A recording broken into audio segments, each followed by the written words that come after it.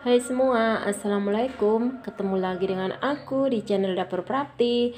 Kali ini Dapur Prapti mau masak sayur oyong ya teman-teman. Ini bahannya, ini ada oyong tiga buah. Terus ini ada sawi putih sama buncis. Cuma sedikit ya, cuma 5 lembar ini. Terus ini ada cabai, bawang putih, bawang merah. Ini pete satu papan, laos ini ada epi terus garam roiko next lanjut kita masukkan bumbu yang tadi sudah diiris.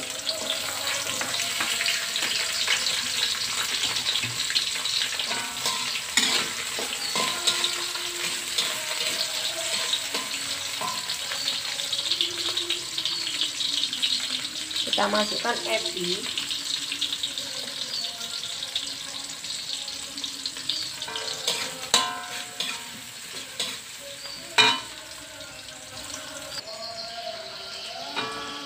udah harum dari egg-nya ya teman-teman.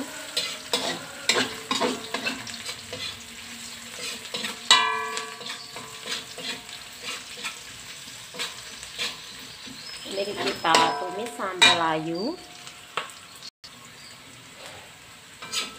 Ini udah harum banget kita masukkan untuk oyong.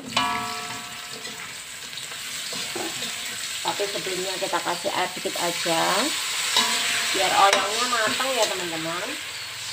Terus kita masukkan untuk sawi sama buncis. Ini segar banget ya teman-teman.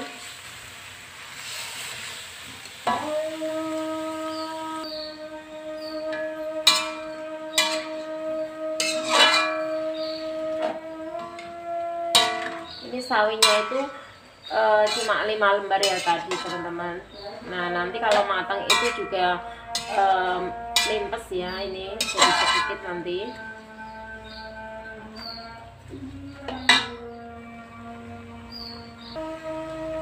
Next lanjut. Kita kasih roiko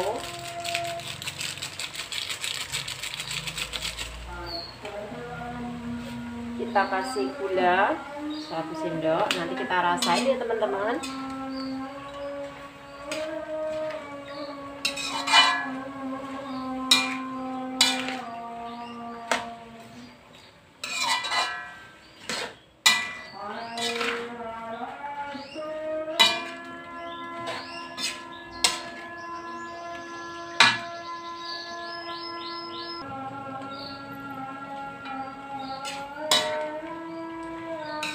udah agak nempes ya teman-teman.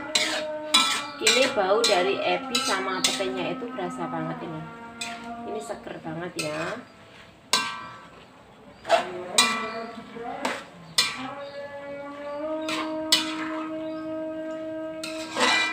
Ini menu sehat.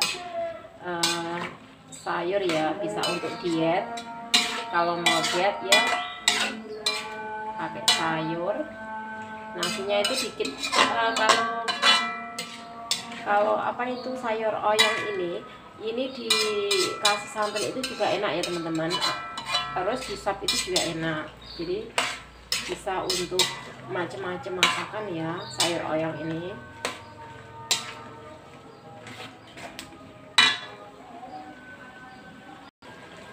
Next lanjut. Ini terakhir kita kasih daun bawang ya teman-teman biar tambah seger terus sambil diaduk.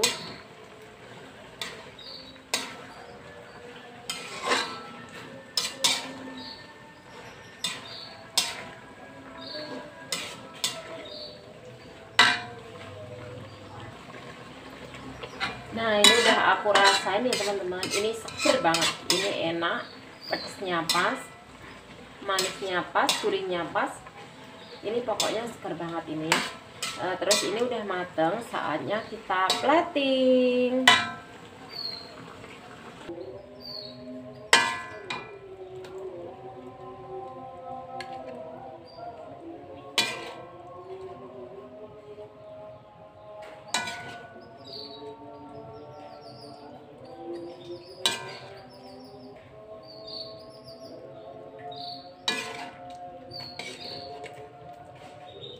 ini menu simple ya teman-teman. Pasti semua yang nonton itu udah pada jago ya masak kayak gini.